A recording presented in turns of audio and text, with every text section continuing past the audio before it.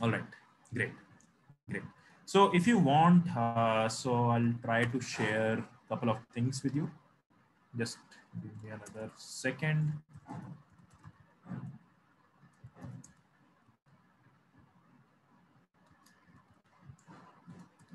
So what I've done is, guys, try to have a look at the chat. Uh, I have shared four different links. Okay, so first link is about coding wala part. Second link is my profile, my personal profile. If you want to connect with me directly, you can uh, connect with me on this profile. The third link is for uh, technology for all, right? So if you want to maybe follow our page, you can go to that. And fourth link is for YouTube, okay? Is that fine? Samir, just go to the first, just go to the first, uh, uh, first link uh, or first, I, am sorry, uh, just go to YouTube channel and just try to look at uh, the first video for uh, technology for all. You will be able to understand how to, how to use this Jupyter notebook. Okay, I've shown how to use Google Colab and using that you can use this thing. Okay, great. Now let's start with this thing. Okay, so today we are going to learn NumPy and in NumPy what we have to do is we have to understand how to basically pre how to basically perform processing on arrays. Okay, we'll learn how to do array oriented computing using NumPy library, using NumPy module. We'll see, we will see how to basically perform something called as array oriented programming, array oriented computing, right? Because now we are going into data analysis. So it is very important to understand how to use NumPy. Okay. Now, what we are we are going to do is we are going to understand how to use NumPy and why do we need to use NumPy? Because see, first of all thing, first of all,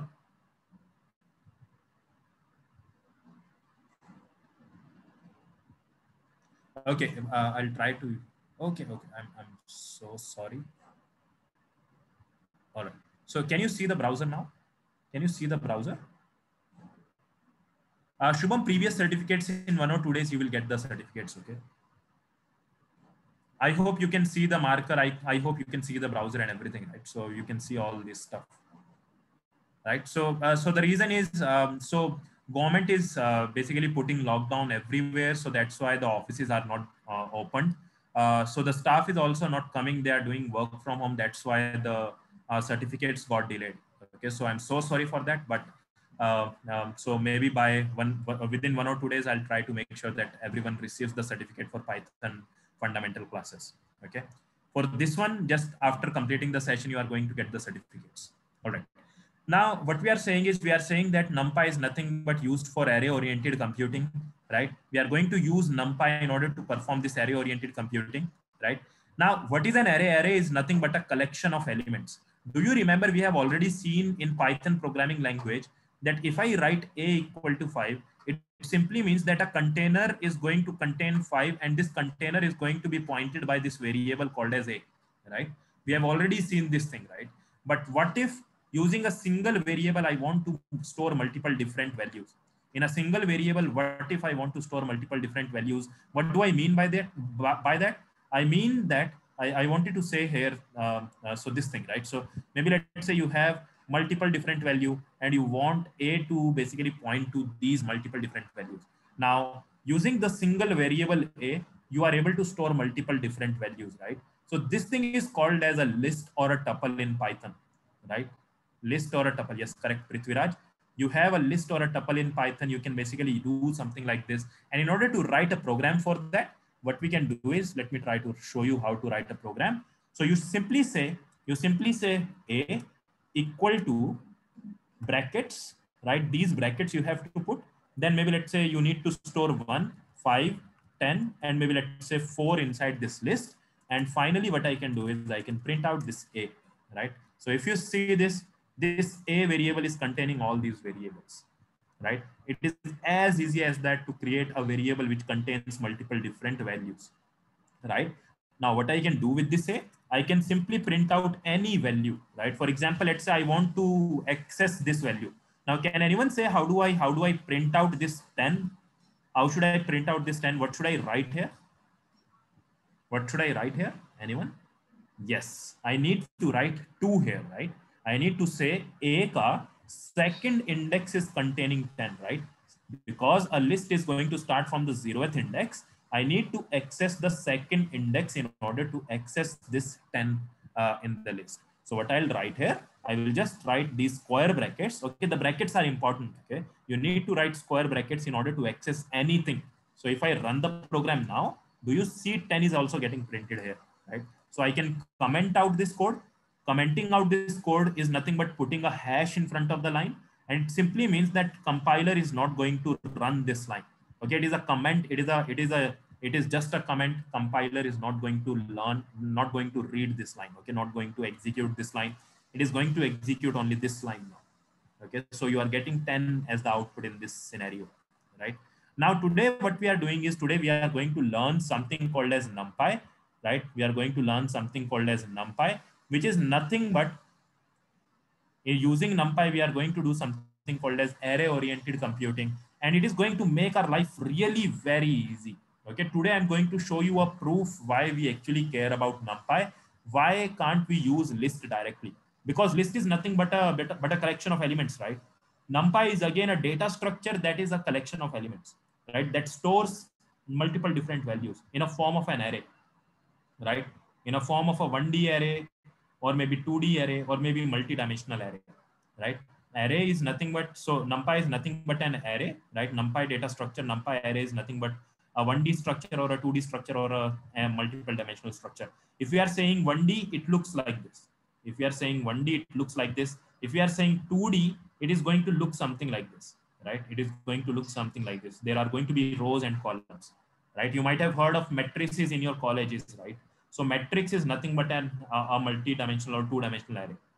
Is that fine till this point? So in this session, we are going to learn how to use NumPy and why we actually care about NumPy.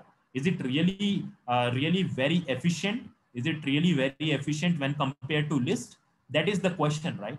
Is it really very efficient? What happens if I try to compare list versus array uh, versus NumPy, right? Why do we actually care about this? We already have a list to store multiple different values, right? We have already a list to store multiple different values, right?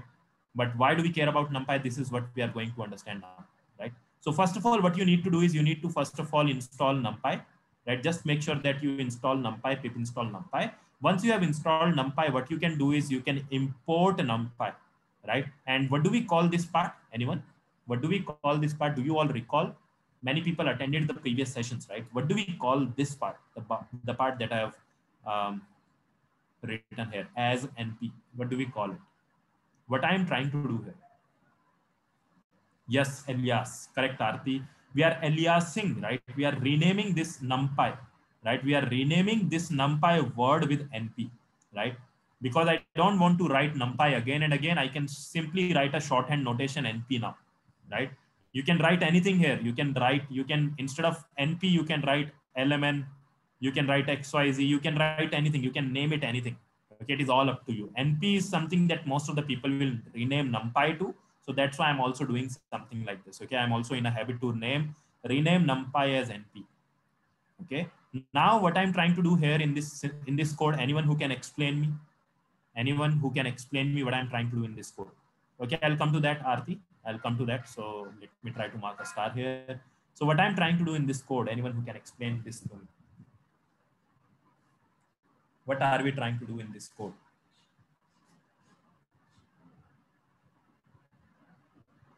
Okay we are trying to print something. Okay we are uh, we are trying to display the data type finding the type. Okay so let me let me explain this okay? Just give me a second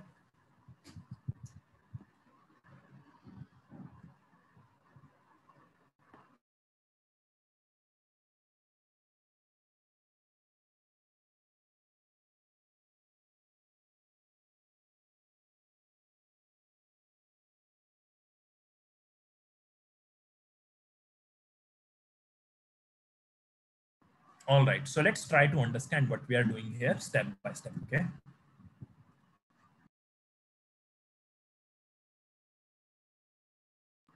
All right, all right, all right. So see, the first line, the first line, if you try to look at the first line of the code, we are trying to create a list, right? We are trying to create a list and we are storing that list inside this variable called as n, right? So internally, what will happen? Internally, a list a sequence data structure is going to get created which is going to store one, two, three, four, and five, right? Once we create something like this, what we are doing here, we are trying to print out the content, the content of whatever is present inside this L. We are just trying to print out that thing, right? And finally, what I'm trying to do, I'm just trying to print out the type of this L variable, right? This L is a variable that is pointing to this entire data, right? And I want to see what is the type of this L and the type of this L is nothing but a list. Is that clear to everyone? So this is something that we have already done in the previous sessions, right? Similarly, if you see this, we are doing the same thing. We are doing the same thing. The only thing we are changing here is instead of using a list, we are using a tuple. Now, can anyone tell me what is the difference between list and tuple? What is the difference between these two data structures, list and tuple? Anyone who can give it a shot? Yes, correct, correct, correct. you can identify, see, uh, somebody somebody correctly pointed out you can identify that it is a list and it is a tuple right there is a difference in the brackets right so lists are represented with the square brackets whereas tuples are represented with these round brackets right? Round brackets are for tuple and um, and square brackets are for list.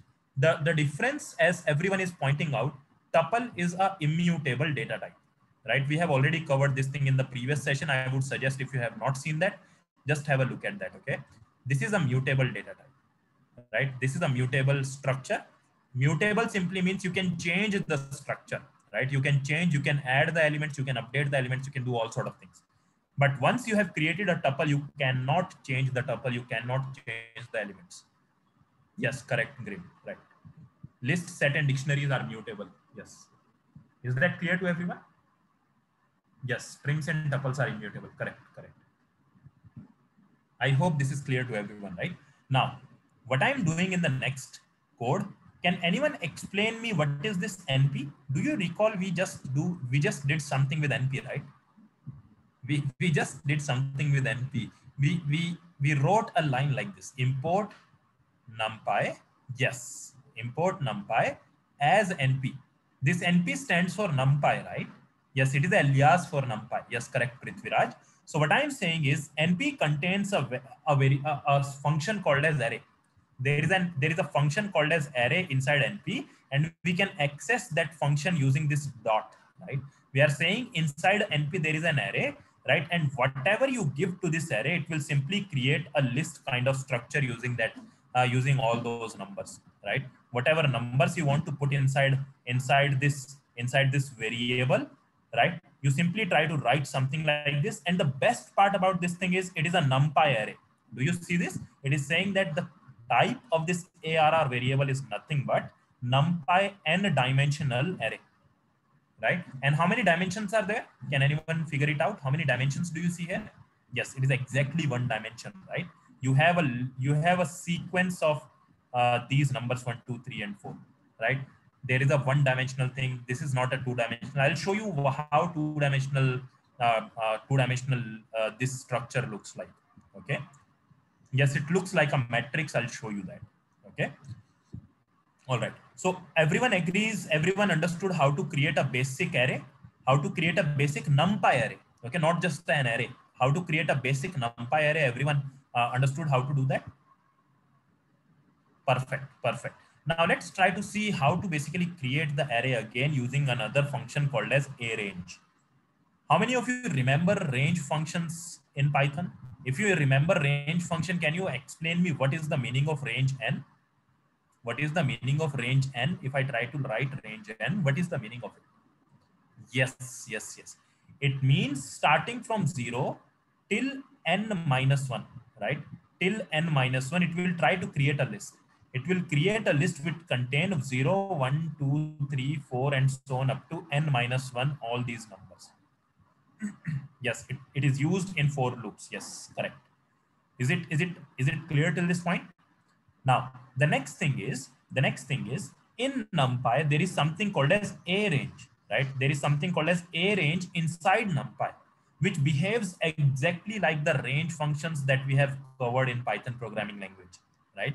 whatever we have covered in Python programming language, it is it is it is exactly similar to that, right? It is exactly similar to to that. It is going to do the same thing here. Okay. The name of the function is the only different uh, thing. Everything else is same, right? If you see this, if you see this, if I say np.arange, right? And if I say 10, ARR is a variable which is going to contain all the values from 0 to n minus 1. n is nothing but 10 here, n minus 1 is nothing but 9 here. So 0 to 9, all the values are present inside this inside this ARR variable, right? And the type of this ARR is nothing but numpy and. Is that fine? So uh, uh, Avnish, I'm just showing you that there is a arange function inside this NP right? arange is inside this NP. I'm just showing you that, right? It behaves exactly right range, which is present inside Python. Okay, you don't need to write np.range, right? It is it is directly available in Python, right? But if you want to if you want to basically use arange, you have to import it from NumPy, right? is that is that clear? So ND is n dimensional uh, Prithviraj, ND is n dimensional array, right? This is a data structure which, a, which is an n dimensional array, right? So where n is nothing but equal to one, right? n dimensional n is equal to one in this case, one dimensional array. Okay. Now let's let's move ahead. Let's move ahead. And now let me try to show you one very, very, very interesting thing here. Okay. Now, yes, correct, Samir, correct you are correct. Uh, Shubham, there is not much difference between range and arange.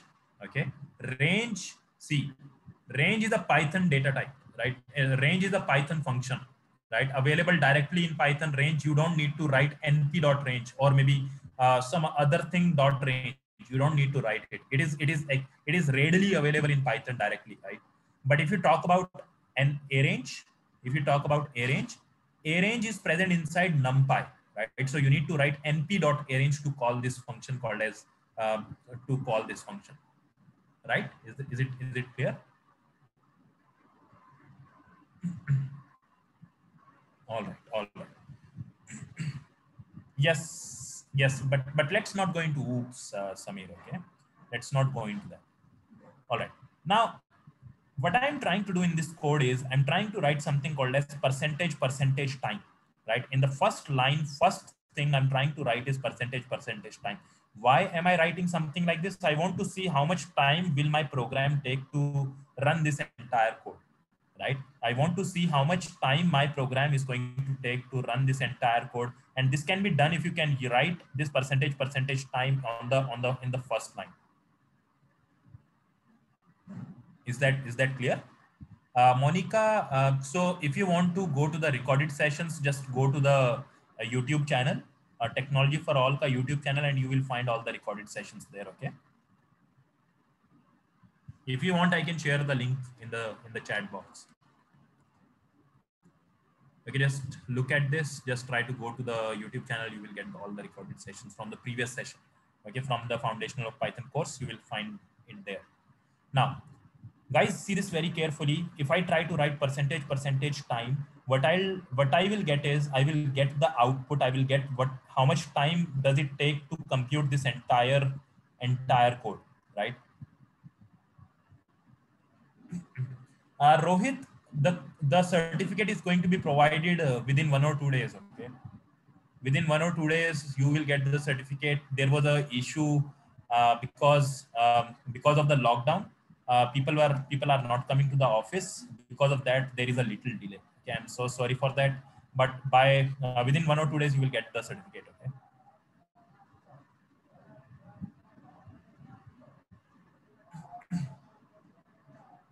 Yes uh, grim maybe at the end of the session we'll try to do that okay so kernel restart it is going to happen in google uh, google uh, Colab, right? So if you are not using kernel for a long time, a lo uh, uh, maybe let's say for 15, 20 minutes, it will restart the kernel. It will restart the entire notebook. Okay, that is the only thing. Okay, do not worry about it. If, if that happens, just try to click on restart and connect the notebook again with the server. Okay, that's it. Chalo. Let's try to see what is happening here actually, right? So what I'm trying to do here is I'm trying to say, see, I'm using, I'm not using any library function here, right? I'm not using NumPy here. Without NumPy, let's see what I'm trying to do here. Can anyone tell me what is this code all about? Can anyone read this code and try to tell me what is this this this entire code all about? What are we trying to achieve in this in this part? In this part, what are we trying to achieve? Okay, Samir, try to try to elaborate. Uh, so what I'm trying to do in this entire code.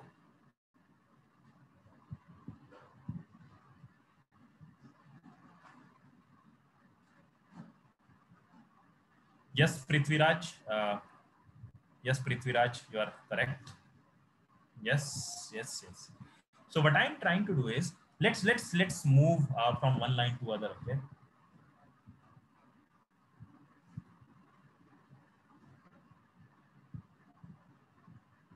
Okay. Let's let's try to uh, understand that. Yes you can't write a comment you have to write the code uh, uh, so if you're trying to use percentage percentage time okay do not put a comment uh, just try to so uh, it will, will throw an error in that case. Okay so see see guys what i'm trying to do here is i'm trying to say that i want a range function. See it is a python range function right and what is this number this number is uh, one 10 lakh right it is 10 lakh, right? I am saying create a list, right? Create a list called as LST. The variable is called as LST. And this LST is going to contain, right? It is going to contain 0, 1, 2, 3, 4, and so on up to 9 lakh 99,999, right? So it is going to contain all these values. It is going to contain 10 lakh different values. Can you think of the scale of this list? It is a very big list I'm trying to create uh, in the memory, right? Once I create this list, what I'm trying to do in the next line, I'm trying to iterate over this entire list. After iterating over this entire list, I'm trying to say that just try to take the square of each and every element in the list.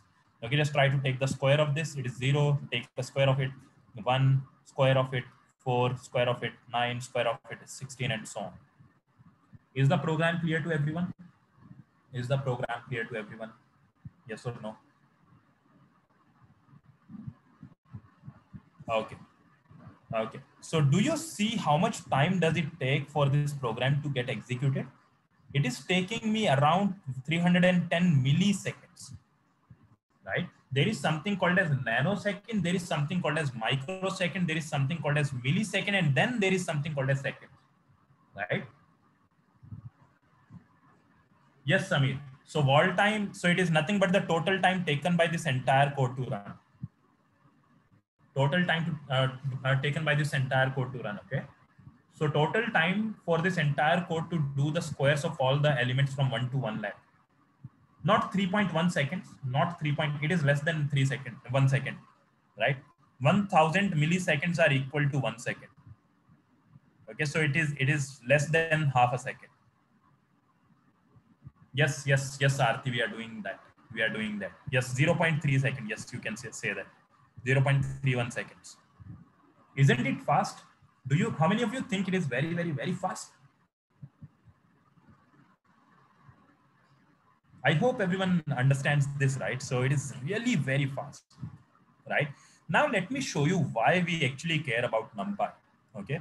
So NumPy, okay, NumPy in NumPy, you can write the code like this. In order to do the same thing, you can write the code like this. You are simply saying np.arange, right? Using NumPy, you are creating an array which contains 0, 1, 2, 3, so on up to 9 lakh 99,999, all these 10 lakh values. And then in order to square up all the values, you can simply say ARR array equal to array into array right? What it will do is it will try to square up all the numbers, one square, two square, three square, four square, and so on, right? Now, can anyone guess how much time will it take for NumPy to execute this query? It is taking this much time, right? It is very less time. Okay, so people have already seen that.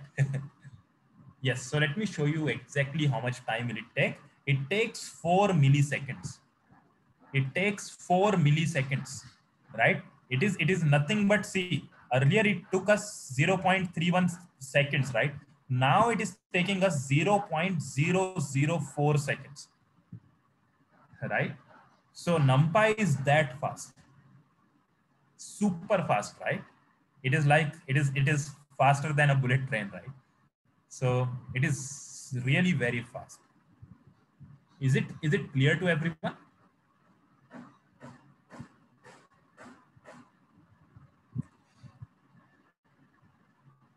Avanish, uh, so you have to write percentage percentage time as a first thing. Okay, you have to put it uh, put it here. Okay, you have to put it in the first line uh, at the first uh, over here. Okay, and then to the next in the next line you have to start writing the code.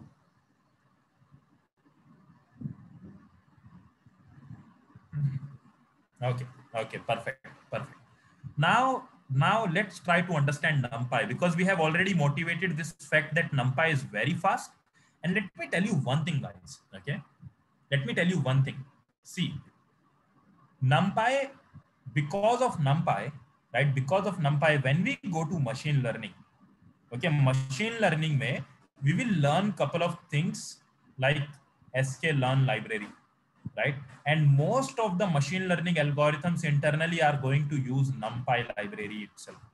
Okay, most of the most of yeah, every algorithm that is out there, it is going to internally use NumPy.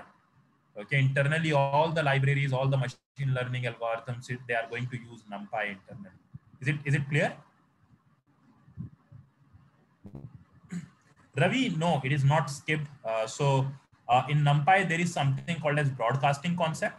Because of that broadcasting uh, this is possible right? It is it is super fast just because of the concept of broadcasting.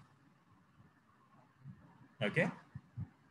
So internally my hardware is basically doing this entire computation for me right? Whereas in in list we have to write this iteration loop right so i will show you if you want i can show you the broadcasting concept also in today's session okay let's let's go down a little it is an advanced concept, broadcasting concept. Let's see if we get time. I'll try to explain that also. Okay. Yes, it depends on system to system. Venkatesh, it depends on system to system. Okay. So uh, my system might take four seconds. In my another system, which is more powerful than this, it takes uh, millisecond. It, it computes this entire thing in milliseconds. It depends upon your processor and RAM. Yes, correct, Samir right? So, so it depends on your system. Uh, so it depends on your system hardware, right? So based on that, it, it will basically give you this, uh, uh, this much time. Okay, some people might get even 20 milliseconds uh, here, okay? So it depends on the system. Is that fine? Great.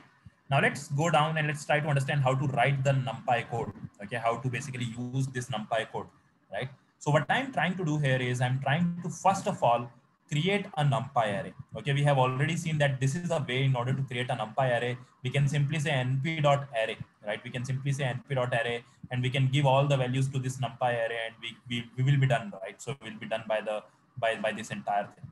Now what is the next thing? I'm trying to print out the number of dimensions in this numpy array. I'm trying to print out the number of dimensions in this numpy array and if I try to do something like this, do you see what is the number of dimensions? Right, we have exactly one number of dimensions, right? Only one dimension is there, right? It is a single, it is a single array, right? It is a single sequence of elements, uh, which is which are basically containing one, two, and three, and four, right? Now, if I try to print the shape of the array, if I print the shape of the array, can anyone tell me if I have a matrix like this?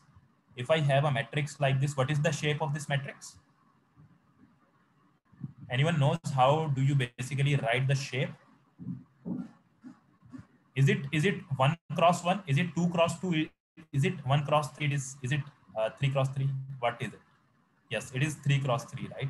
The shape of this array is three of this matrix is three cross three right? Similarly what is the shape of this array can anyone tell me what is the shape of this array this array yes correct one cross four right it is one cross four now, if I try to print the shape of the array, right? If it is a one dimensional array, it is always going to give you something like this. It is always going to give you a tuple kind of thing, which is containing the, the number of elements that are present inside it. Okay, so there is a reason behind it, but we can't go into that reason because it is not an advanced course. Okay, maybe when we go to some advanced course, then we'll show you, I will show you why this is uh, written something like this, four comma, something like this. Okay, so uh, normally you will see that you will feel that it should be one comma four, but uh, but if it is a one dimensional array, it will basically give you four comma this thing. Okay, as as as the shape of this array. Okay, so this is the output. Now, if you see the length of the array, do you see the length of the array is nothing but exactly four elements are there, right? So this is the length of the array. And if you try to check the data type of the array, you will see that all the values that are present in the array are nothing but integers.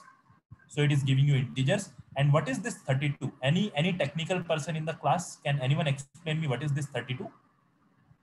What is this 32, anyone? Okay, Tony Stark. yes, correct, correct. So when we talk about when we talk about this array, the array is one, two, three, and four, right? So each element, when we say array dot d type, it is telling me what is the type of this element. Now from Python, do you remember it is nothing but an integer data type, right? And this integer in my computer's memory, it is getting how much space? It is getting 32 bit space to store itself, right? To store this one, my computer is taking 32 bit, right? My computer is basically allocating 32 bits to store this one inside the memory, right? Similarly, for all these values, 32 bits are allocated. Yes, size of each integer element that is allocated here is 32 bit. Is that fine, Samir? Is that fine with everyone, guys? All right. The final element, final thing item size. If I say array dot item size, what it returns me, it returns me how many bytes are there for each element that is getting stored, right? How much bytes my computer is allocating to each element for this array. Now, how, how many, see, if this is 32 bit, how many bytes are there? What do I, so uh, anyone knows? Uh, so if, if, if I take 32 bits, how many bytes will be required? Divided by eight, right? Because one byte is nothing but, one byte is nothing but eight bit right? One byte is nothing but 8 bit. So it is nothing but equal to 4 bytes, right? So item size is nothing but a byte. Uh, so it is it will basically show you how much byte is my array allocating to each element, right? So this is uh, everyone is able to understand this entire output. Everyone is able to understand the entire code. Any confusions, any doubts, anything till this point? All right, great. Now let's move ahead. Let's move ahead. Let's look into two-dimensional array. Now, earlier we were writing one, two, three, four in order to create a one-dimensional array, right? Now what we are doing is, uh, Shubham, I'm trying to, I'm trying to uh, basically talk about this thing. Okay, so all the functions are repeated here. So just uh, look at it carefully. Okay. Now, what I'm trying to say here, I'm trying to say that I want, see, inside this entire list, I directly inserted all these values, right? It simply means create an array which looks like this, one, two, three, four, right? Now what I'm saying is, I'm saying that I need one, two, three, comma, another list, four, five, six. Now, do you see that it is nothing but a two-dimensional array? This is going to act as a first, eh, first row, right? This is going to act as a first row, right? We have one, we have two, we have three, and then this is going to act as a second row four, five, six. Right? So what is the shape of this array? The shape of this matrix is nothing but two cross three. It is a two-dimensional array, right? It is a two-dimensional array containing rows and columns. There are two rows and three columns are there. I hope this is fine with everyone. Shubham, is it clear? Is it clear till this point, Shubham? Great. Great. Now let's look into the next topic. Okay, let's look into the next line. Okay, in the next line, what I'm trying to say is I'm saying just try to print this array. Okay, let me try to show you the output. So if you see the output, right, if you see the output, right, so you have one, two, three, four, five, six, right? This is the entire array you have, right? A two-dimensional matrix, first row and then the second row. So what is the dimensionality? Anyone who can tell me what how many dimensions are there? What kind of array is it? Is it a one dimensional or a two dimensional array? Yes, it is a two-dimensional array, right? So let me try to scroll down. You see the output is for n dimension, the output is nothing but two, right? Now let's talk about the shape, right? Let's talk about the shape. So anyone who can tell me what is the shape of this array? What is the shape of this array? Yes, two cross three, right? Correct, Kundan. The shape is nothing but two cross three. Let me come down. So if you see this, it is nothing but the shape. Let me erase this part. Yeah, so the shape of the array is nothing but two cross three. Now, if I try to talk about the length of this array, if I talk about the length of this array, so the array is nothing but something like this, right? Uh, one, two, three, four, five, six, four, five, six. This is how I represented. This is how I wrote this entire array. Now, do you see the length of this array is two, right? There is this first element, then a comma, and then the second element. Is it making sense to everyone? So the length of this array is nothing but two, right? You have to understand it. Making sense to everyone, yes or no? See, this is the first element, and then there is a comma, and then there is a second element, right? So the length of the array is 2 not 6, right? So let's try to see that, right? So the length of the array is nothing but 2 in this case. Next, what we are trying to do, what we are trying to do, we are trying to check the data type. Again, the data type is nothing but integer, and then you have 32 bits. Yes, Kriti, I'm going to talk about that again, okay? So do not worry about that. So again, what I'm trying to do here, item size, item size is 4 byte. 32 bit simply means 4 byte, right? And finally, finally, what array was I having? I was having 1, 2, 3, 4, 5, 6. 4, 5, 6. Can anyone uh, can anyone point out what is the diagonal of this array? If I try to print the diagonal for this array, what is the diagonal? If this is the entire entire matrix, what is the diagonal of this matrix? Yes, Kriti, correct, correct, correct, right? So diagonal is nothing but, right, diagonal. So see, it is zeroth index, first index, second index. Zeroth index, first index. Diagonal is that element, yes, uh, yes, Kriti, correct, right? Diagonal is that element which is having the row index and column index is same, right? Row index and the column index of a diagonal element is going to be same. Is that is that fine? Is that fine with everyone? Arti, I'm going to talk about it. Give me a minute. Okay, so this is going to have 0, 0.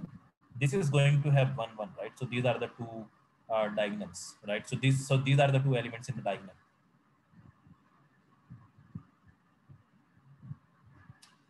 Okay, Samir, no, see, Samir, see, diagonal is that element, right? Diagonal element is that element in an array where okay okay I'm, I'm going to explain it again. So we have this array. Four five six right? So can i index this column as zeroth column? Can i index this column as first column and this index as second column? Similarly can i index this column as zero sorry this row as zeroth row and this as the first row i will say that a diagonal is that element. Diagonal is that element right? I will say that a i j right? Aij is going to be a diagonal element if and only if i is equal to equal to j. Yes correct correct Samir. is it making sense tony stark? I hope this makes sense right? So according to this according to this can you tell me what is the what is the row and column index for 6 what is the row and column index for 6 1 comma 2 right? 1 comma 2 right? So for 6 row index is 1 and column index is 2 right? 1 comma 2 making sense? Making sense to everyone? So this is the row uh, this is the row and column index for 6 right? So it can't be a diagonal element right i is not equal to equal to j but if we talk about 1 and 5 they are the diagonal elements right for this array they are the diagonal elements now, is it clear to everyone how we got the diagonal elements and why 1 and 5 were the diagonal elements? Any doubts? If there is any doubt, I can take the doubt again, okay? Uh, if, uh, I, can, I can explain the doubt, uh, whatever doubts you are having. So somebody was saying that why item size is equal to 4? Why item size equal to 4? Uh, somebody was asking about that. See, we have this array, right? We have this two-dimensional array, 1, 2, 3, 4, 5, 6.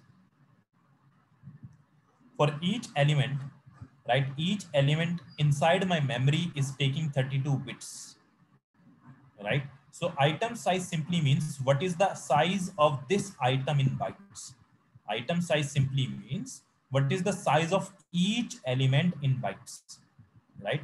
In bytes, what is the size of each element? So if you see this 32 bit simply means four byte, right? In total, how much size will it contain? How much, how much space will it get, uh, will, will it take? It will take four bytes into six elements are there, right? In total, it will take around six, uh, six for the 24 bytes, right?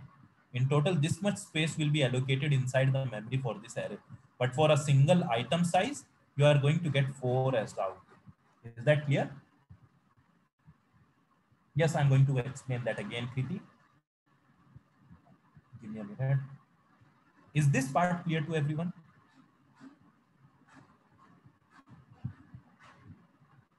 Yes, Samir, I'll come to that, okay? Okay, item size is clear. Now people are having doubts with length of the array, okay? So let's try to talk about the length.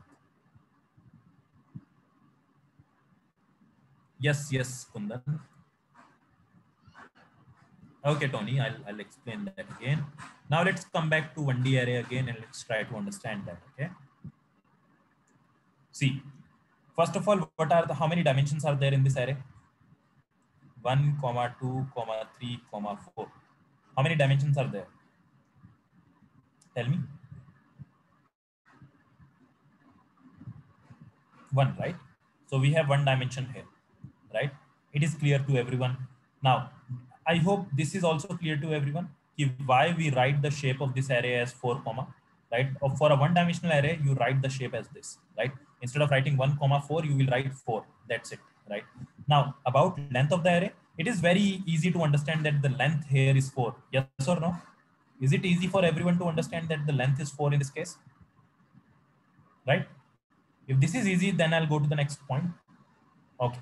Now let's try to see what just happened in the two-dimensional array. Okay, let's try to understand what just happened. So we were having this bracket, we were having this bracket. Then we were having one item, right? One, two, three, right? Comma, four, five, six. Now, do you see that inside this list, right? This list is called as an array, right?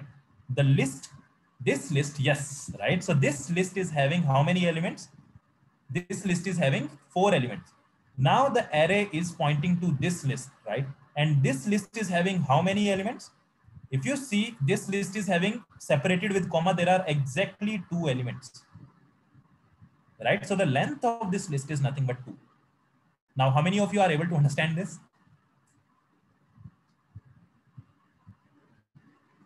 Again, again, see, see, let, let, let me try to explain this part again. I think this was a very easy explanation. Uh, so let's try to, yeah. So earlier array was pointing to this list, right? Earlier array was pointing to this list. Now, since this list is getting pointed by this array, the length of this array is going to be, see, there are how many elements with comma separation? There are four elements, right? So the length of this array in this case is nothing but four, right? But when we come to this uh, this array, this this matrix, this array, right? This array, if you see this thing, there are exactly two elements separated by a comma, right? So this is why the length of this array in this case is going to be two. Great, great. If everyone is able to understand this, that is perfect. All right. So can we go to the next concept? Yes or no? yeah. Yes, we are writing, we are keep, we are creating arrays of arrays, right? Multi-dimensional array, right? Great. So let's go to the next concept. Okay.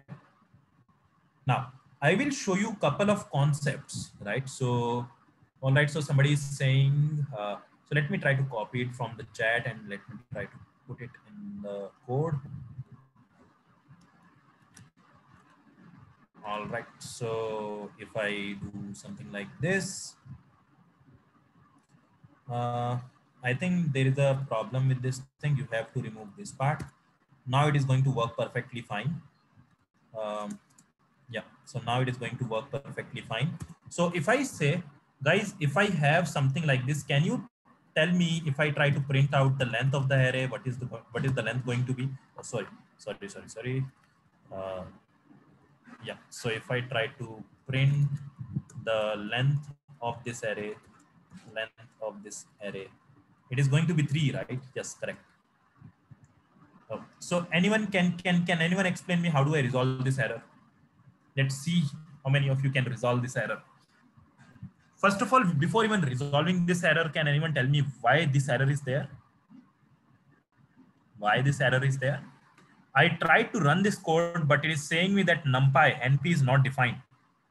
It is not able to identify np, right? If you if you see what is the error? No, no. Let let's see the error. Okay, let's see the error. So we we yes import bumpy. Yes, we'll import bumpy, right? So so import numpy right so we never we we were never running this code right we were never running this code let's write numpy as np right because we we are using np here right so let's try to run the code here so where is the run button this is the run button so if i run this code and now if i try to run this code see the output is 3 right? I was never executing these all these code wala line right? So this is why it was not uh, it was it was throwing me an error right? Now it won't it, it will be able to identify this np word.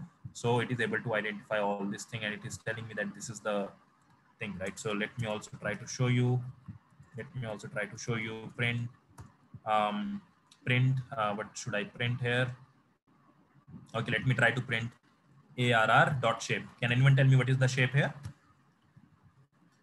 what is the shape here Okay, so 3 cross 3. Yes, it is going to be 3 cross 3. Correct.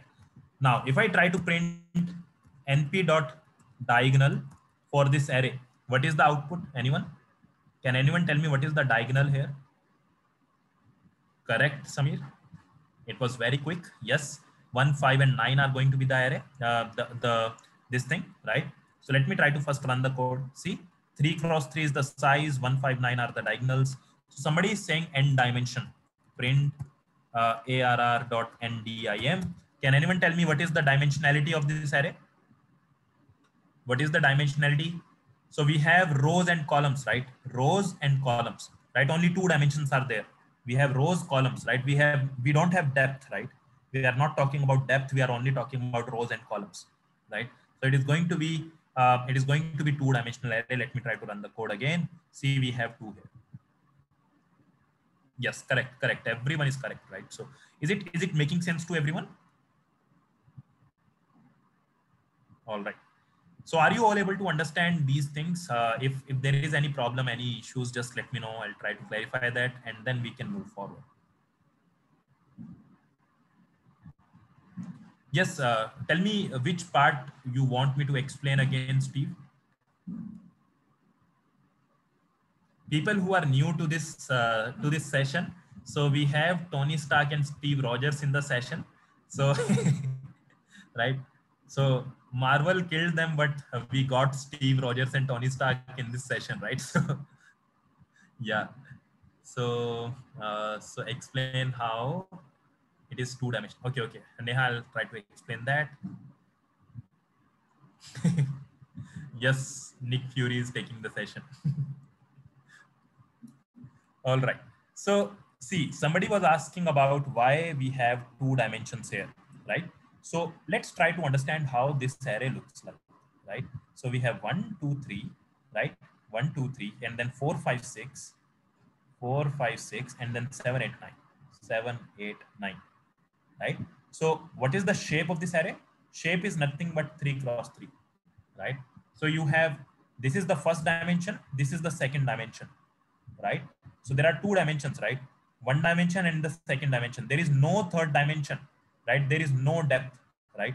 There is no depth here, right? If there is a depth, there will be there will be an overlapping array, right? So in case of two dimensional or three dimensional array, you will have an array behind this array, right? There will be an array behind this array. That is the third dimension, right? So this is the first dimension, then the second dimension, then for the third dimension, you will have depth right? You will have depth, there will be an array behind this array. Is it is it clear? Yes, matrix or a two-dimensional array both are same thing, right? Matrices are nothing but two-dimensional structure, right? Yes, correct, Prithvi.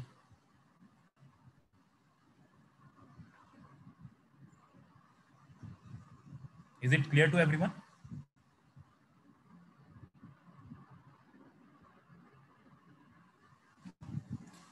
Yes. So matrix, see overlapping matrices you will have, right? So just try to see.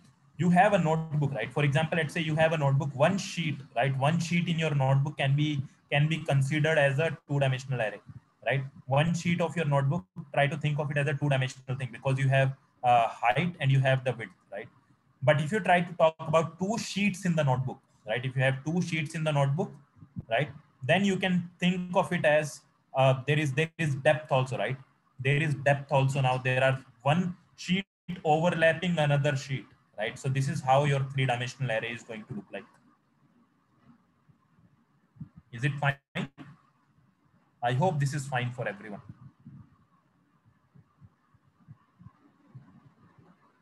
All right. So if it if this is fine, then we can go to the next concept. All right. So yeah. Great. Now let's try to see how to create these arrays. Okay, so NumPy allows us to create arrays in a very fast manner. What we can do is, let's say I want to create a three cross three array, which contains all ones, right? Let's say I want to create a three cross three array, which contains all ones. So what I can do is I can simply say np dot ones. There is a function called as ones, which basically takes one tuple, right? You just need to give it a tuple, which displays, which basically helps us, which basically helps NumPy creating that array right? So you are saying you are here, here you are simply saying that I want to create a numpy array which contains all ones and the shape of that array is going to be three cross three, three rows and three columns, right? If you try to print that array, you will see that all the values are nothing but ones.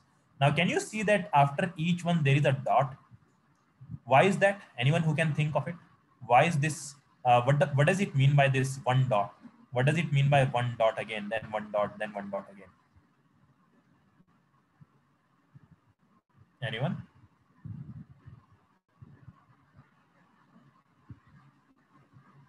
All right. So let's try to, let's, yes, yes, everyone see, see.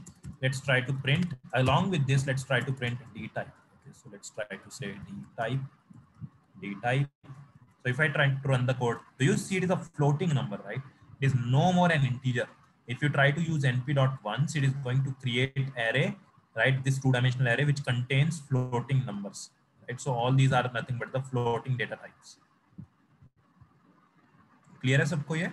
Is it clear? So if I say print array dot item size, can anyone tell me what is the item size here? What is the item size here?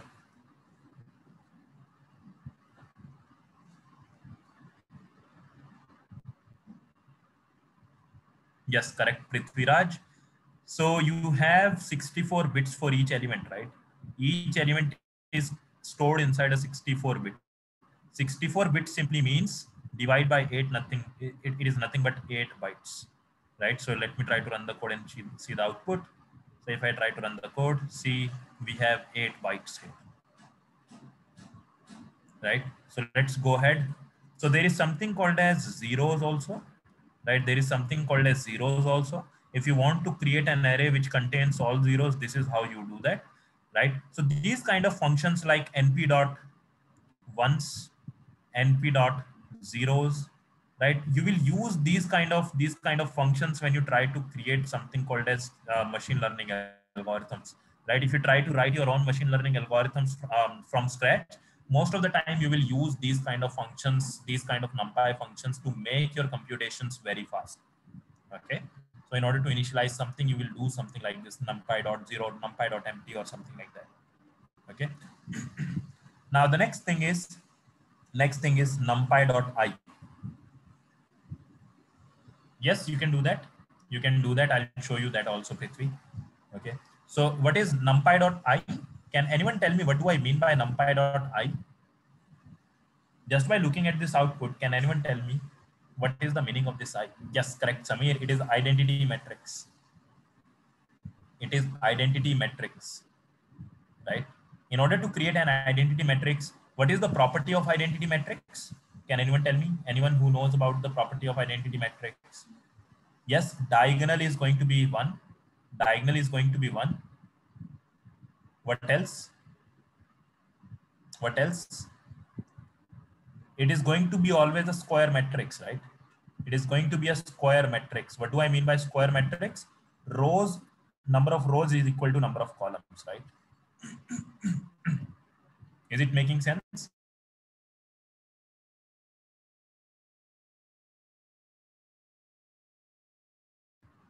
Yes, correct, correct, uh, Aravinda.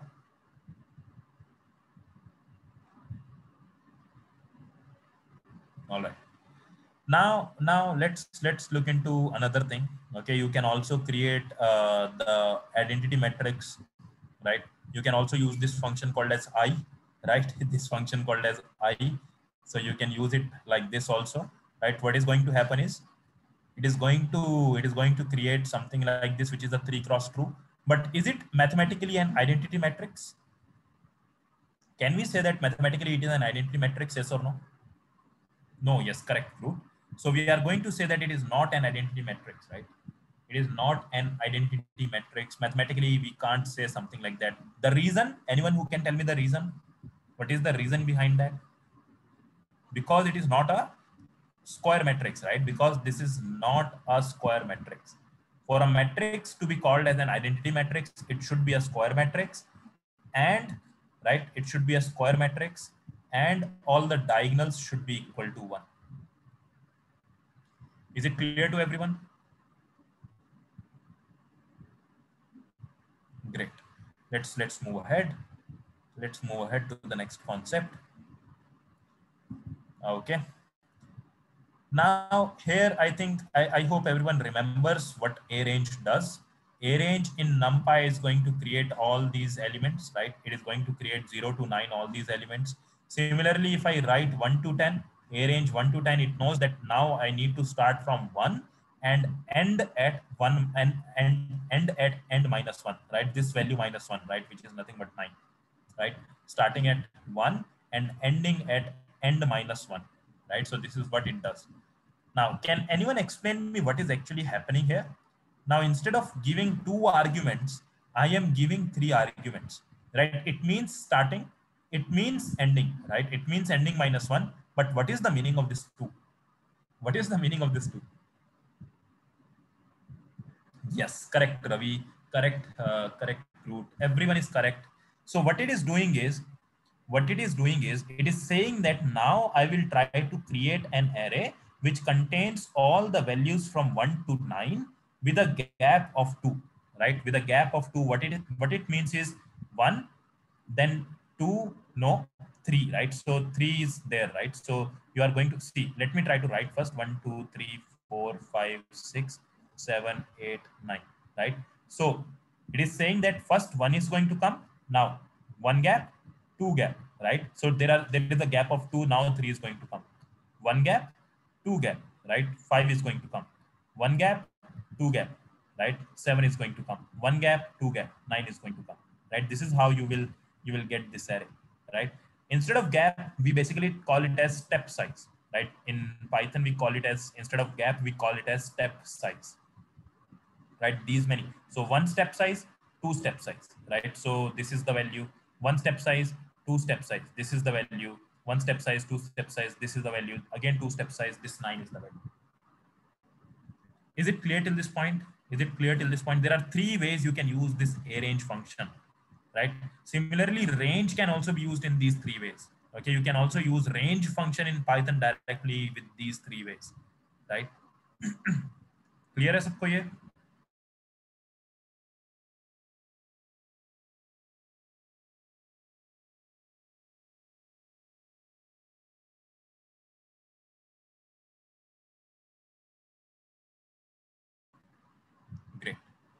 now let's move ahead uh, let's try to somebody was asking about yes uh, samir it can be a negative number also right in that case it will do it will basically move in the reverse direction okay try to explore it yourself okay so it can be a negative also yes yes yes sir.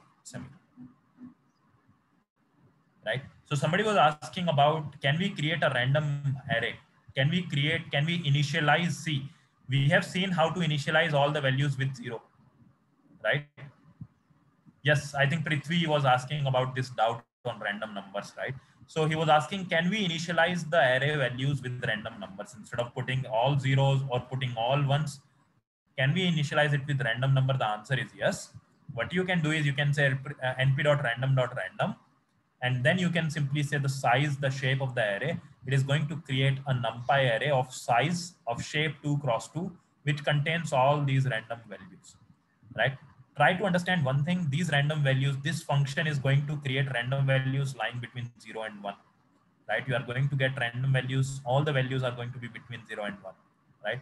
Similarly you can see the next example also right? You can see the next example also. We are creating a, a matrix of shape 2 uh, 10 cross 2 and all the elements in this array are going to be see each and every element in this array is going to be between 0 to 1 is it is it clear till this point? I hope this makes sense to everyone now. Prithvi, is it clear? All right. Now let's look into the next thing. Let, let, let's look into this uh, thing. So this is another way to create an array, right? So what we are trying to do again, we want to create an array randomly. The only thing is now inside random, what we are calling, we are calling rand int. What it is going to do is it is going to create random integers, right? So first of all, what I'm saying here, I'm saying here that I want an array of, of, of basically uh, of basically size 10 and the values inside this array is going to lie between 1 to 10 right the values inside this array is going to lie between 1 to 10 including 1 and 10 right is it clear is it making sense to everyone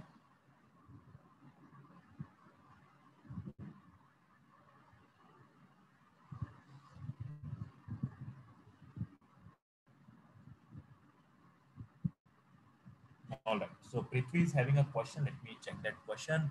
What if I want a real number greater than one in array? Okay.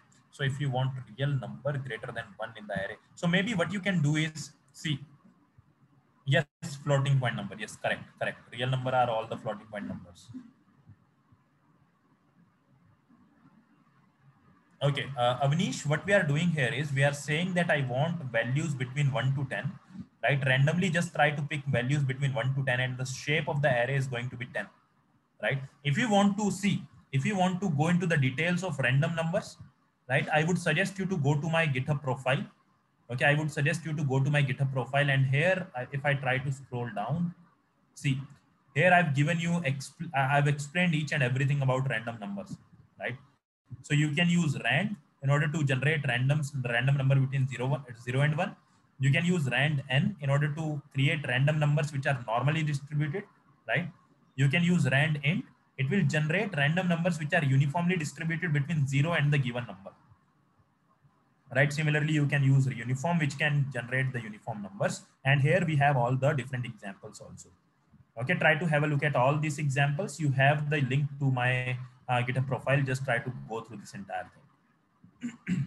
is it is it clear to everyone?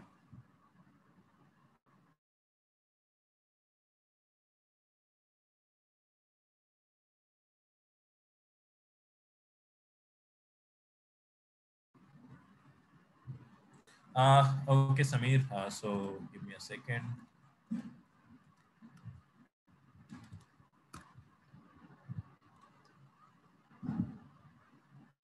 Okay, I'll share all the links. Just try to copy paste it. Uh, okay, so I will share all the links. So it contains all the links, my profile, YouTube profile, uh, GitHub profile, everything. Uh, guys, can you please give me a minute? Uh, so I think I have someone uh, outside. Just a minute, okay?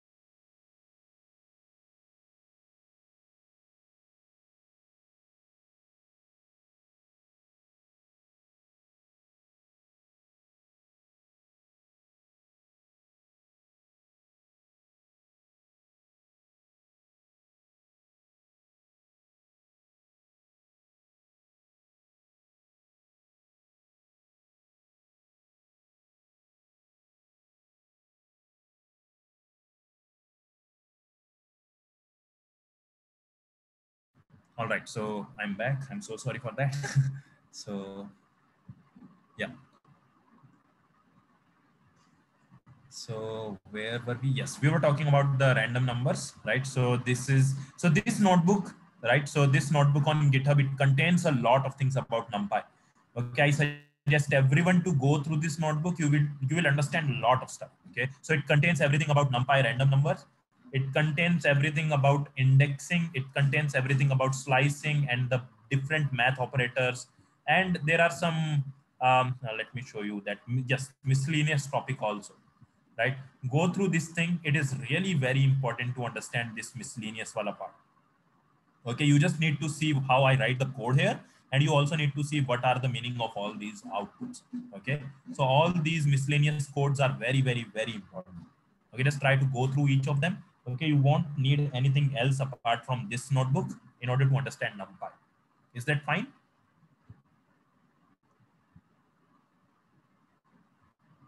Is that fine with everyone? Yes or no?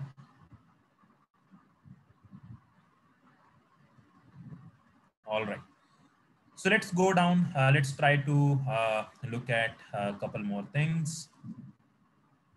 Yeah. So in NumPy, what we can do is we can also use some math operations as well as some statistical operations, right? That is what, that is where we are going to come. Uh, yes, uh, Sheikh, we are, we are recording the sessions on the YouTube channel. Okay, so YouTube channel link we have already shared with you.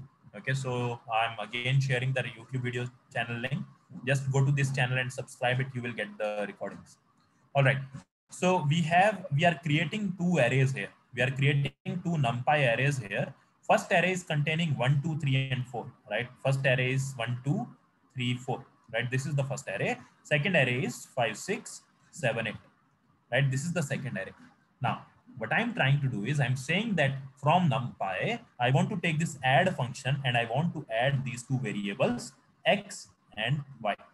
Now, if I do something like this, what is going to happen? It is going to do something called as element wise addition, right? It is going to do element wise addition. What do I mean by that? It is going to take one, it is going to add it with this five.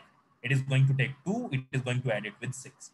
It is going to take three, it is going to add it with uh, so it is going to take three, it is going to add it with seven, going to take four and going to add it with eight, right? So this is the output you are going to get. Is that is that fine? That is that is fine, uh, Sheikh. Thank you so much for uh, uh, letting me know about this. Okay. Uh, and by the way, happy Ramzan. Uh, so just just try to uh, take care. Okay. Yeah. So the next thing is, next thing is uh, we are trying to subtract the elements also. If I try to do this, again, it is going to do something called as element wise subtraction, right? It is going to again do element wise subtraction. If I try to use multiply, it is again going to do element wise multiplication. If I do divide, it will do element wise division. Now, don't you think, guys, don't you think that if I have a matrix, if I have an array like this, one, two, three, four, and five, six, seven, eight, if I try to multiply these two array, don't you think there is another rules to multiply these uh, these two matrices? In mathematics, you might have heard, right? In mathematics, you might have learned that this is how you multiply the the the matrix, right? Row with this column, row with this column again, right? And there are some rules in order to multiply two matrices, right? There are some rules in order to multiply the matrices. You have to make sure that this number of column in the first matrix should be equal to the number of rows in the second matrix. And the final output is going to be 2 cross 2, right? In simple terms, if the first matrix is m cross n and the second matrix is n cross l, then only multiplication will happen. And the final matrix is going to be of shape. Anyone who can tell me what is the shape of final matrix if this is the case? Yes, m cross l, right? This is the shape of the final matrix right? But in, in NumPy, if you try to multiply two matrix using this function called as multiply, it is going to do something called as element-wise multiplication. Always remember that. Okay, it will do element-wise multiplication if you do something like this, right? The thing, the, the, the, the matrix multiplication, right? In order to do matrix multiplication, right? In order to do matrix multiplication, NumPy is having another method, right? In order to do matrix multiplication, you have to write numpy.matmul, right? Matmul. matrix multiplication, right? Or you can also write something called as numpy dot dot, right? So this is a dot product, right? People who are from physics background, who know physics, they might have heard of something called as dot product and cross product, right? So it is a dot product between two matrices we are doing here, right? So if you do something like this, it is going to give you this output. Yes, normally dot product is going to give you a scalar, but here this is the output you are getting, right? Yes, correct, correct. Scalar and the vector product, right? So when you do a dot product, it gives you a scalar, right? So we are doing something like a dot product here. Is it is it fine with everyone? Guys, let me tell you one thing, okay? So mathematics is very, very, very important, right? In order to become a data scientist, machine learning engineer, or a data analyst, mathematics is something that that is going to really help you out. When we learn machine learning while a foundational course, let me tell you that that is the place where you are going to feel like like wow okay so i will make sure that everyone out out here is going to feel wow when we go to machine learning the reason is it is all mathematical right? It is all mathematical. It is all practical stuff. It is all uh, something which you need to understand right? Here what we are doing we are doing something called as we are looking at code right? We are looking at we are looking at how to write the code right? It is a little boring uh, to be uh, truth be told right? So it is a little boring from my side also. I i think from your side also it is it is a little boring to look at the code for uh, one and one and a half hour right but when we come to mathematical concept it is, going to become really very interesting. In the next week we are going to do that. Okay venkatesh uh, so venkatesh can you do one thing? On Saturday, we are going to have the last session for this uh, data analysis, right? So can you remind me on Saturday, I will, I will explain, I will basically share some mathematical concepts that you need to learn before coming to machine learning wala session so that it makes more sense for you also, right? So, let, so let's do that, okay? Uh, Samir, uh, if you want to become a very good machine learning engineer, you have to learn lots of mathematics. I would I would say that PhD level mathematics is required. Okay, differential calculus is required, not integral calculus. Uh, integration is not that much required, but differential is required. Uh, I will see. Uh, Avnish, if I get time, I'll definitely take machine learning and NLP wala part also. Okay. So I have five days to cover machine learning. Uh, we'll do that statistics yes statistics is very very very important for data analysis right the things that we are going to do in the exploratory data analysis on saturday today uh, saturday this week we are going to use a little bit of statistics there okay but I'll, I'll i will give you a couple of uh, concepts i'll tell you i will ask you all to revise a couple of concepts so that you are good with statistics also right now see what i'm trying to do now i'm trying to uh, see so let's look at some more mathematical uh, things, right? So there is something called as np.min, right? np.min, let's say I have an array which looks like this. Okay, I have an array which looks like this. Oh, sorry. x equal to 1, 2, 3, 4. If I do something like this, and if I say, and if I say, uh, I want a minimum element from x now, do you agree why we are getting a one here? Right. Similarly, I can also get the maximum element from my from my entire matrix, right? So it is going to give me a four. Yes, it is the least value, right? The minimum value, right? So NumPy is going to give you so many functionalities, right? So it is really very interesting to learn and use NumPy, right? Now, similarly, I hope you can all understand what is this thing, right? I'm initially printing the original X and then I'm, I'm uh, printing the this this value. What is this value? Yes, correct, Groot. So this is a transpose of the matrix, right? So one, two, right? So one, two is here. Three, four, three, four is here, right? Rows get converted to the column. Is it fine with everyone? Is it fine with everyone? I hope it is fine, right? So similarly, you have exponents also, right? Uh, many of us might have heard of something called as exponents. So we have in NumPy something called as exp, the function, if you write exp of 1, it is nothing but e to the power 1, right? And e to the power 1 is nothing but this value, right? Similarly, if you put e to the power 2, this is the value, right? So this is what it is trying to show us. All right. Now, let me try to show you some uh, statistical part also. Let me actually come here, right? Now, let's say you have a NumPy array which is containing 160, 180, 146, 162, 184, and 180 these values. Try to try to look into it, Ashwini. Okay, try to look into it, Ashwini. Just try to do it and try to see whether it is possible or not. Okay. Um, I wanted to uh, so so let let me not say anything. Okay, just try to compute it. Okay. So um, just try to see how the graph of E looks like. Just try to think of it right? It looks like this, right? So is it possible to take negative values? Uh, so you, you would understand, right? Yes, yes, Samir, correct. Yes, it is in the domain, right? So I just showed you the graph, right? All right. So if you see this thing, right? So these are some heights value, right? Heights in centimeters for some people, right? So let's say I am having some heights of some people. Let's say 160 centimeter is one. One guy is having a 160 centimeter height. One guy is having 180 centimeter height. One is having 146 one is having 162 one is having 184 one is having 180 so let's say i want to check out of all the people who is having the maximum height i can do simply uh, np.max and then i can put the entire array here. Similarly i can also look into the minimum heights right? Very easy stuff right? Very very very easy stuff right? Similarly what i can also do see in me in in statistics you have mean in in statistics you have median variance standard deviation. You can do all these things with these single single line of code right? Super easy stuff right?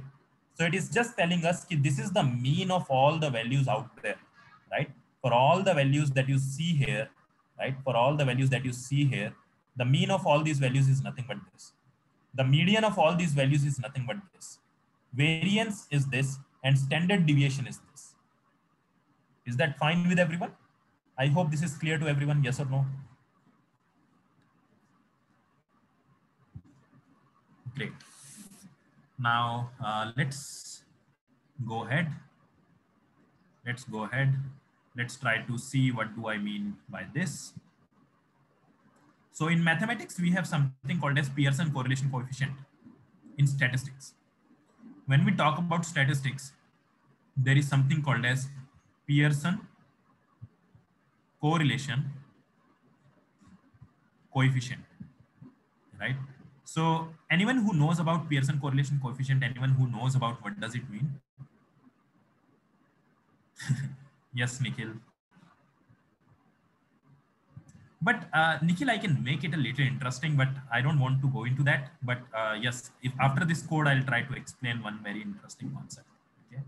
Can anyone tell me what do I mean by Pearson correlation coefficient? If you don't know, that is completely fine. Okay.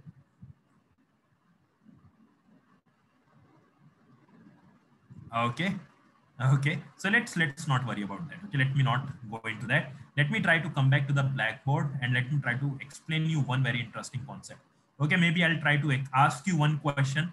Just try to answer me that question okay? Let's say let's say i have some numbers okay? Guys see this okay? Let's say i have some numbers. One two three four five. Okay? I have these numbers. What is the mean of these numbers? Can anyone explain me what is the formula of mean? How do I write the formula of mean?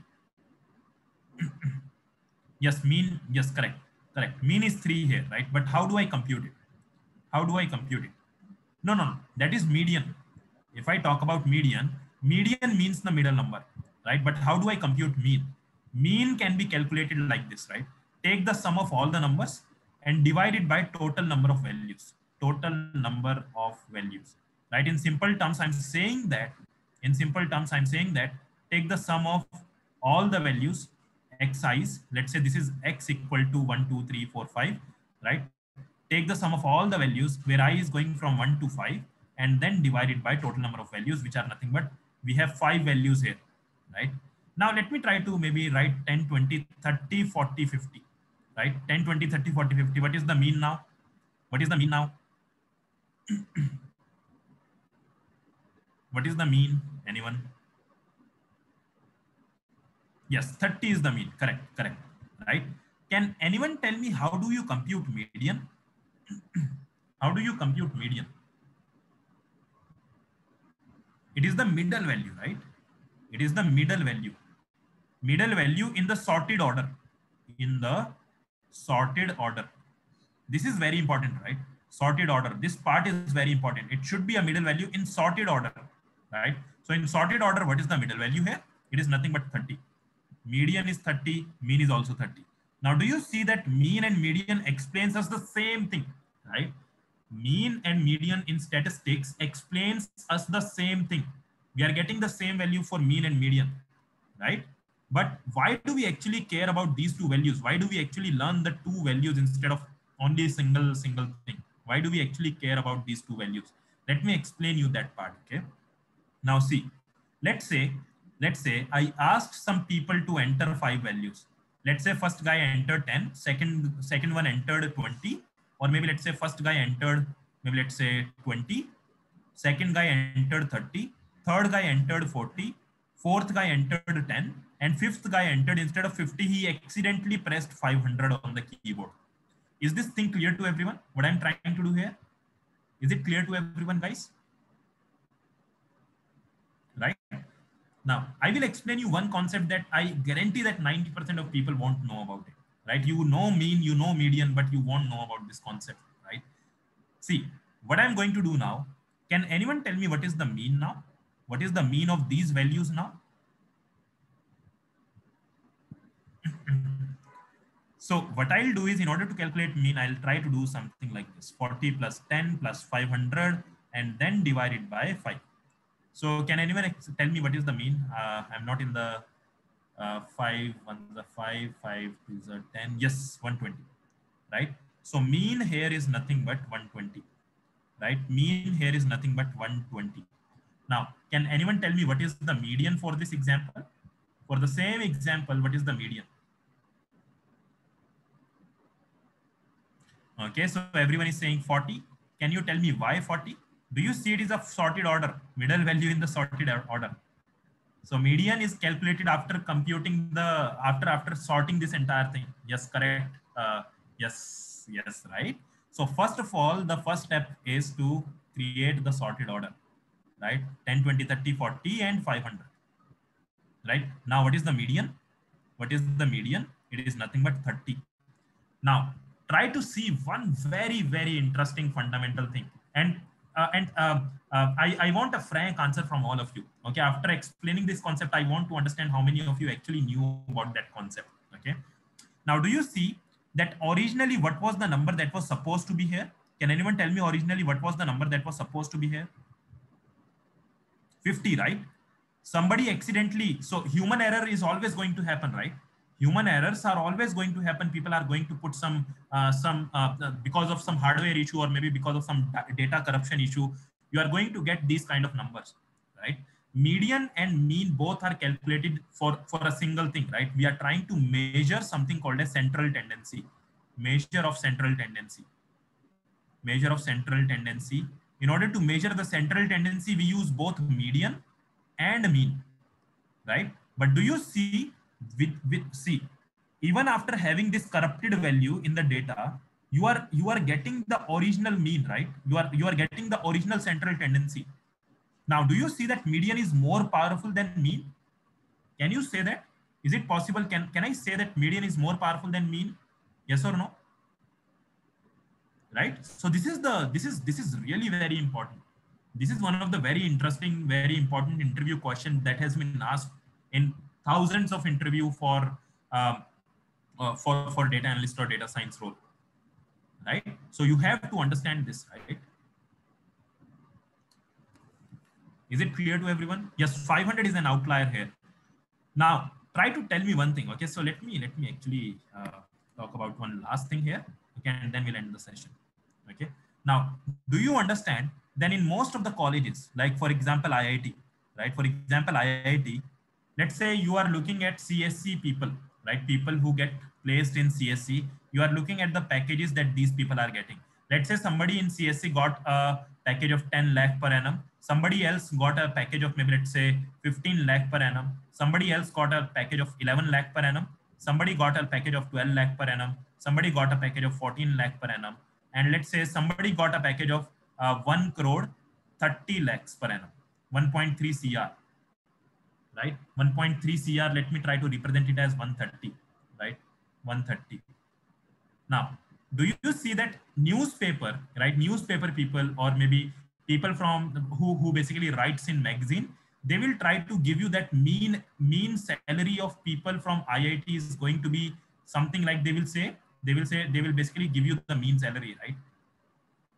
If you try to calculate mean can anyone tell me what is the mean here uh, six. values are there. What is the mean here in this case?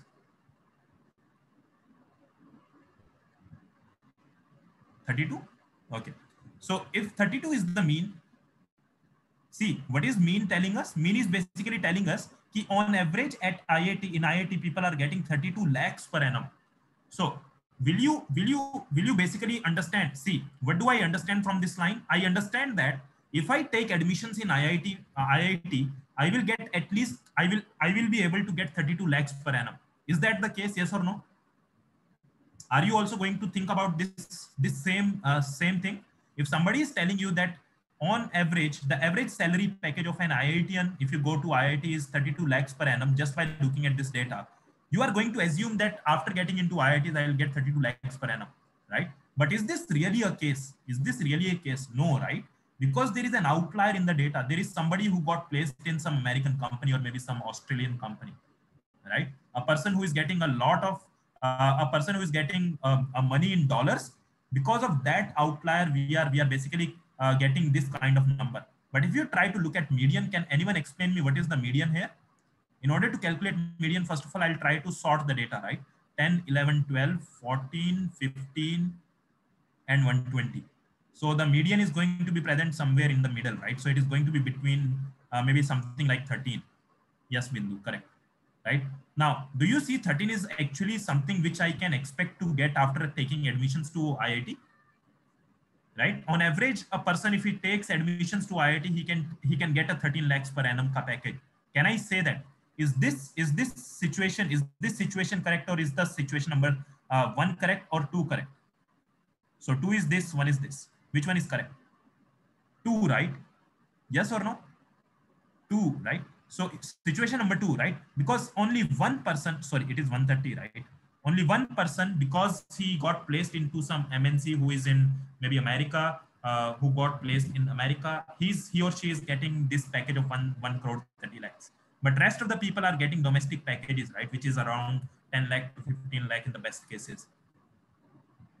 Is it making sense to everyone? So looking at statistics is very, very, very important, right? So outliers can basically give you these kind of things, right? And normally what happens is in news and in newspapers, articles, you will see that people are always going to give you the mean values.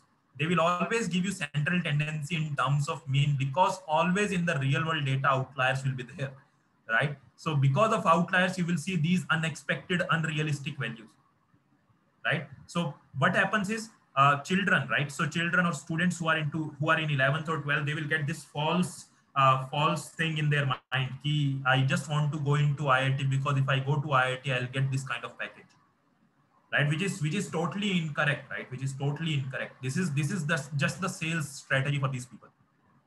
Is it making sense to everyone? I hope this makes sense, right? So I went a little, little little bit in more depth in the statistical part, but I wanted to make sure that you understand this part, right? So statistics is really very interesting. Okay. I hope someday I'll try to explain you all of statistics. It is really very interesting subject to understand. All right. Thank you so much, uh, guys. Uh, I hope you enjoyed this class. I hope you enjoyed this concept on statistics. Um, so tomorrow, what we are going to do is we are going to learn pandas, right? And uh, we are going to learn how to plot the data, how to how to basically uh, uh, um, maybe if the data is present in Excel sheet, how to basically get it inside the memory, computer's memory, and then maybe how to process the data, right? Uh, data crunching, data processing that we'll learn tomorrow. Okay. All right then. I hope you enjoyed the session. Thank you so much, guys, for for, uh, for connecting with me here. Okay. Um, all right.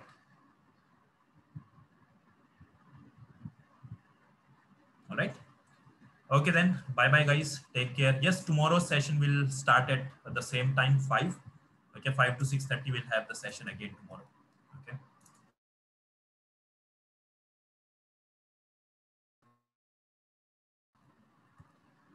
all right